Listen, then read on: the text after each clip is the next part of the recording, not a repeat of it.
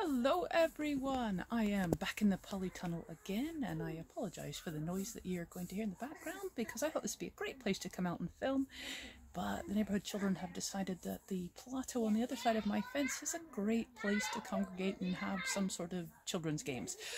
And the dog has decided she needs to sit in my lap. So I'm going to get the dog sorted out and get the camera set up and then we will crack on with this video which is about the SP24 coil. Okay, so the neighbourhood children have gone away and the little dog has settled down in my lap so we can get on with this.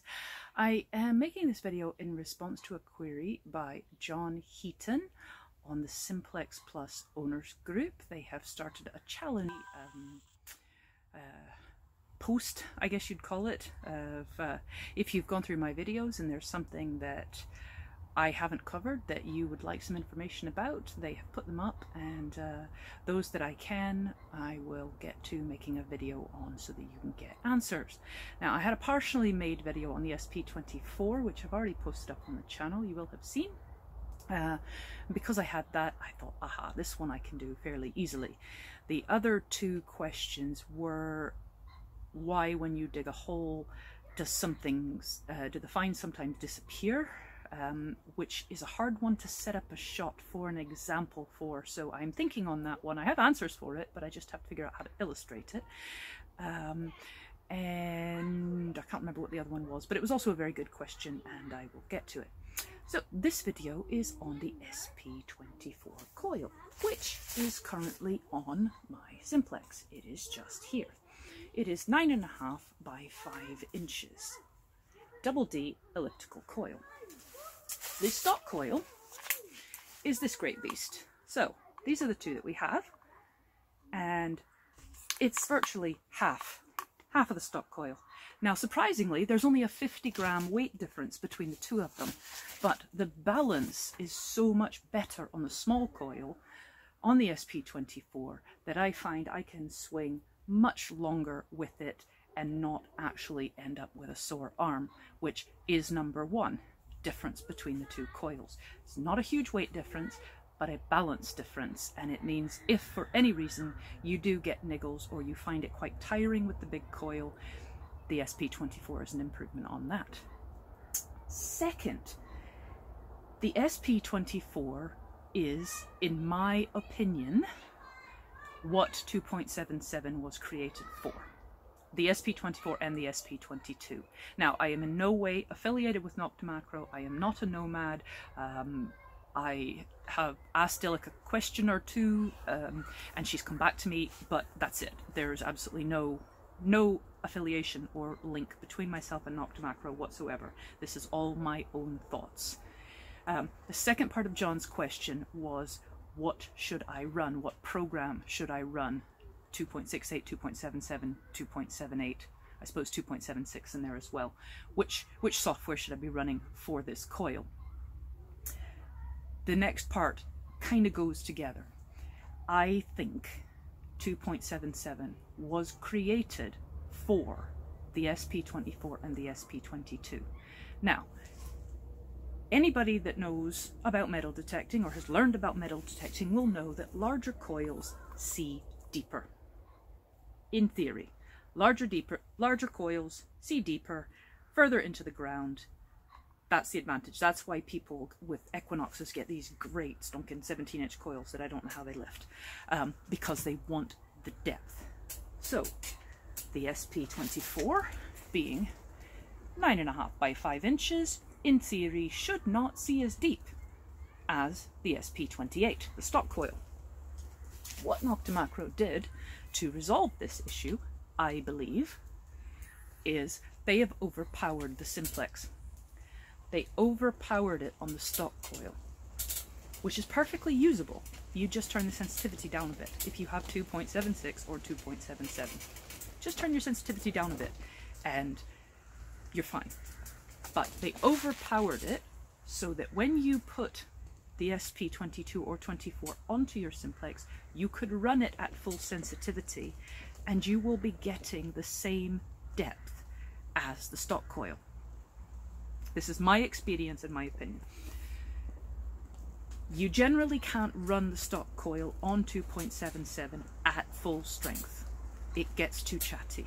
Sometimes you can, but generally you can't, and you need to turn your sensitivity down, which is fine because you're still getting more depth than you did on 2.68, more information than you did on 2.68. 2.78 is different. If you have 2.78, you will get the audio signals from that increased depth, but you will not get the VDI signals from that increased depth. So people say it's more stable, it's not jumpy, it doesn't chatter as much. That's because they've just reduced that information to you. It's less available to you. But it does mean that when you put a small coil on, you can't crank it up. You're stuck with what they've given you because they've reduced the information to you.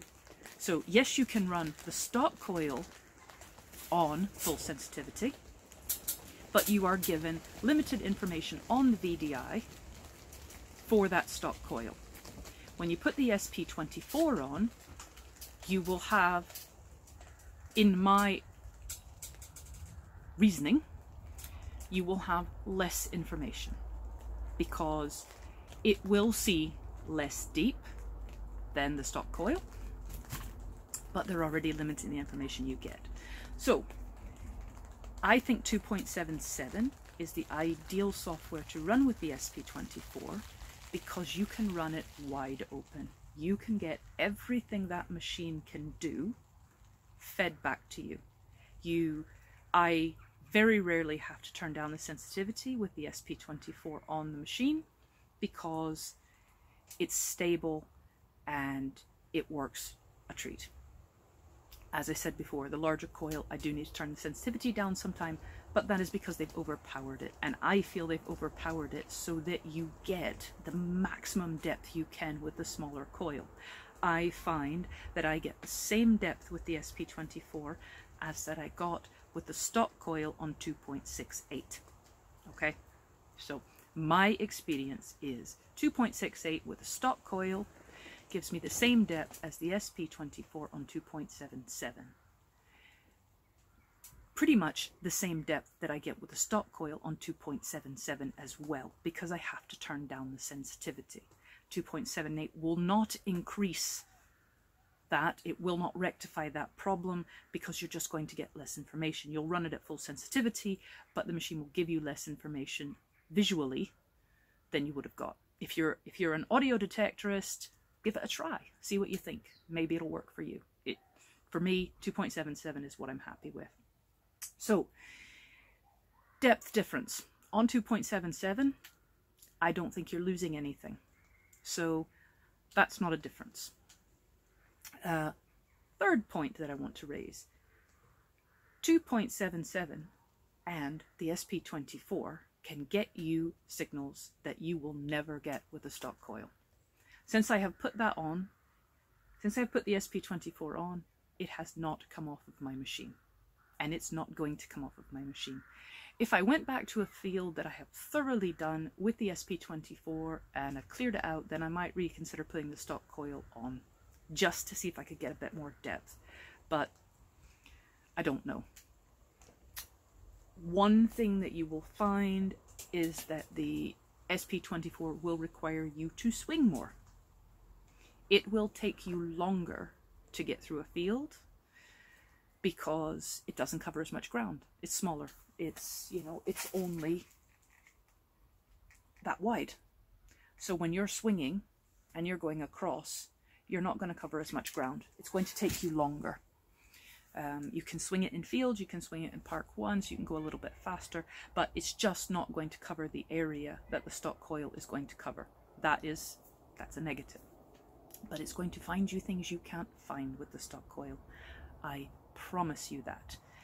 In the last week, I have found two silvers that I would not have been able to find with the stock coil absolutely could not have. The first example I have is in a new field that I have been working and it is absolutely full of slag.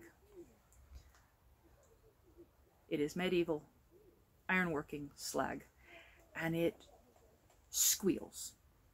Well, it doesn't squeal like aluminium, but it sounds off and it sounds off in all kinds of numbers, though there's almost always a 95 or a 96 in with it.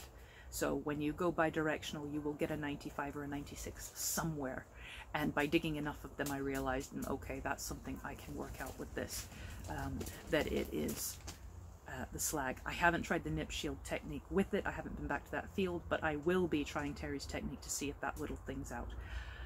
If the nip shield technique works to whittle this out, it would not have helped on this signal because the signal that I got was this, but next to it was, where are you, my darling?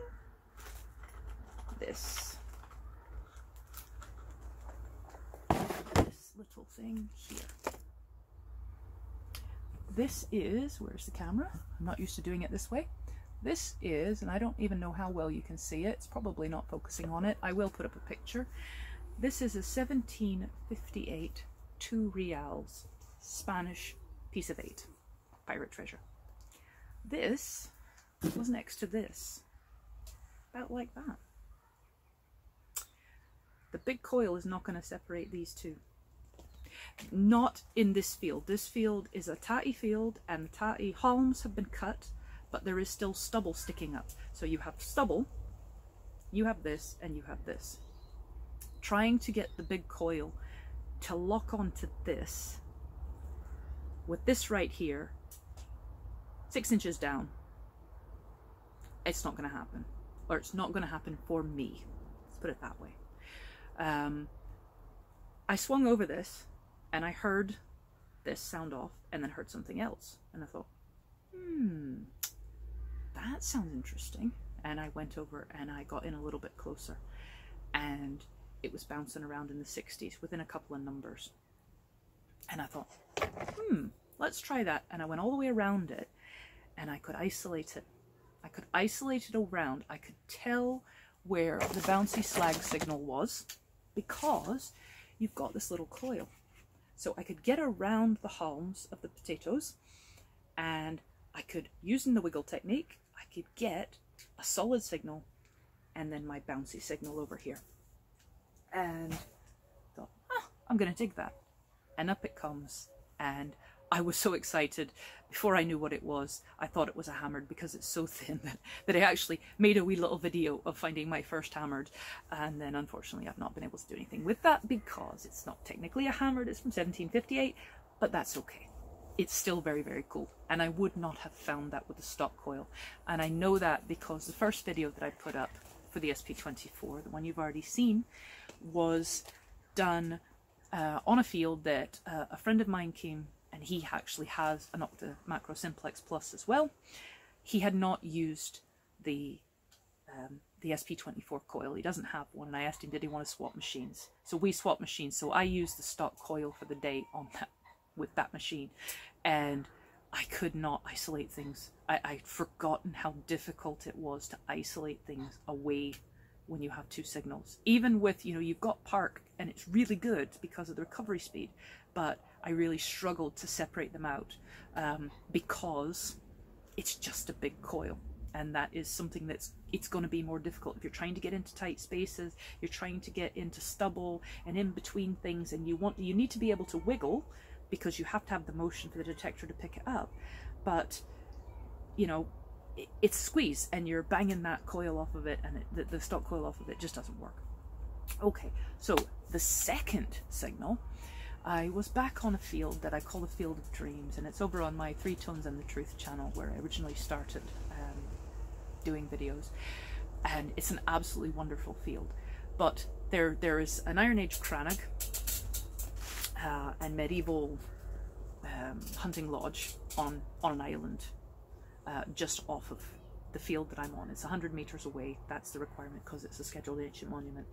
This field, I have done this fence line three times at least with the stock coil and I have taken all the iron out because it's it's an iron age site so I've taken the iron out as much as has come up I have um, I've taken everything out that's not iron I have done it I have done it and done it and done it was back there again a couple of days ago because uh, we were going to go back to the field where I found the Real but the car wouldn't start so we had to order a new battery but that's that's another story um, anyway we can walk to this field, uh, the Crannog field. So we walked to it, Gavin and I, and ah, well, I've got the SP24. I'll walk along this bit and I'll see.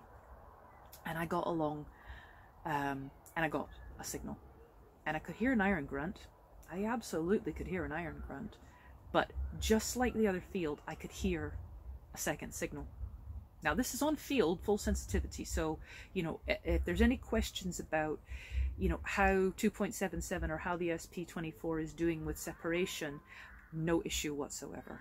And I'll try and get some footage when I next go back to the Real field because the difference between iron and slag when you're when you're swinging, you could hear it going beep beep beep beep, you know, as it's picking up each signal. The separation is great, and that's in field full sensitivity. So, um, anyway, I could hear this signal and I could hear iron. And I thought, mm, I'm not sure. I'm not sure if this is, you know, some kind of big piece of iron that I've missed before um, or what it is. So I went all the way around it, listening, listening, listening. And again, I was getting a tone in the 60s that was within a couple of numbers. It was about 68, 68, 69. I thought, hmm, there's something there. I think there's something there. And I can, I can sort of come away from it and I can hear the iron and I can pinpoint on the iron and then I can come back with a small coil and I can get right on top of it and I can hear it. Okay, I'm to dig this. And uh, I dug it and what pops up but a solid silver button. Again, silver. It was next to something that grunts like iron and I'm sorry, again, I'm not very good at this. Um, it looks like a little targe actually, like the, the Highlanders kind of shield. Uh, I'll put a video in, uh, sorry, a photo in so you can see that better. But I didn't actually find the iron. I dug that up, cleared the hole, put the simplex back over it. Could still hear the iron grunt, but that secondary little sweet sound was gone. Again, it's a pasture field. It's tussocky and tufty. There's bits of grass where the sheep haven't eaten. Um, and because of the narrowness of that small coil, I could get in and I could isolate that from the bit of iron that was near to it. The reason I'm saying the nip shield technique, uh, you know, I've asked Terry about this. We're going to have a video call and discuss it. Um, if something is next to iron and you're using this technique, um, it possibly won't see your find. It might if you actually can pinpoint it really well and you can get away from it. Um, and that I'll put I'll put another video up because I've got an example of uh, something that happened to Gavin and I, but this is already long enough. So I apologize for that, John. Um, I'm a bit less sparky than usual. I haven't the hay fever's kicked in. Anyway, uh, where was I? Yes, back to the nip shield technique. Unless you're very careful, you might pick up the iron and you might walk away from something that you don't want to walk away from. Um, so just be careful with that one. Um, if you can hear a solid tone and you can get it down to within a couple of numbers, that solid a couple of numbers, um, the tighter you can get that numbers, the more likely it's something round because that's what metal detectors are set up to find round things. And if you get a solid single number or one or two numbers that it doesn't jump between, and it's not aluminium or iron or you know big big stuff, it's likely going to be something round. And this one and the Real both were the same. They were in those in the 60s and they were within two numbers on the VDI. Yet both of them were, you know, that far you know, a good five, six inches down. Um, so if you can get a signal that locks itself down to one or two numbers on the VDI and you can get it bidirectionally, more than one direction, go around it, see if it's repeatable. If it's repeatable, it's probably worth digging, even if the nip shield says it's iron. Now, do your own experiments, and if you find that every time you get this and the nip shield saying it's iron, you dig it up and you can't find anything else in there but iron, please let me know, um, because we'll work with Terry and we'll figure out what we can do to, to help isolate that better. Um, but in my experience on both of these finds, I would not have found them without the SP24. Um, so that is what I have for you that the differences are. The differences are you have to swing more because it's smaller. Uh, you don't have any weight difference, but the balance is better with the SP24. The balance is much better and your arm will be less tired, which is a good thing because you will be swinging more because it's not as big. you will find things that you cannot find with the larger coil because you will be able to isolate the signals better. You will be able to get in amongst stubble better. Um, I think somebody asked if you're on a stubble field, um, do you push the grass down? Do you bash the stubble? What do you do? Or do you just sort of hover six inches above it? Not to me specifically, but as a question. I said, I've got the SP24 on. It is a hardy little thing, and I will, you know, obviously not solid stubble, but I will push over it because I'm not worried about it and it doesn't false. Full sensitivity field, hitting stubble, the SP24 does not false for me. Make sure you're ground balanced, but it does not false. Um, so, um, 2.77, absolutely, without a shadow of a doubt, you will get the best performance from the machine on the SP24 with 2.77. If you put it on 2.78, you will lose signals that 2.77, I am sure, was written for with this coil. Um, and I think that's pretty much everything I can say. I absolutely love it. I wouldn't be without it. It's my stock coil. I would recommend it to everybody. It will change your experience with this machine. It really, really will. Um, it, it's a delight. Perhaps on a beach, if you're going to dig everything, then you use a bigger coil because you can cover more ground. Um, I don't know. I don't know because you still might have two things next to each other. You might be less likely on a beach because it's not like an agricultural field, but I don't know. Um, I just find it maneuverable, better balanced. I can isolate things better. Um, just, just a delight. So I hope that answers your question, John. I'm sorry that I've gone on so long with it, but uh, you know, please keep the questions coming. Um, I'll put a link to that Simplex Plus group in the description for this, so if you're interested in coming over and joining. It's a group for all experienced detectorists, but if you're new to the Simplex, that they have a policy that no question is stupid and no one will mock you or give you any grief for asking something that is a basic question. So it is very, very welcoming, and that's one of the things I really like about it. So thank you very much to Clive and Dustin and Mick for inviting me along to the group and asking me to do the challenge. And thanks very much to John Heaton for the question. And uh, I'll be working on the next two questions. The first one as soon as I can figure out how to replicate it to show you. Uh, and the second one once I look up and see what it was again. Take care, everybody. Stay safe.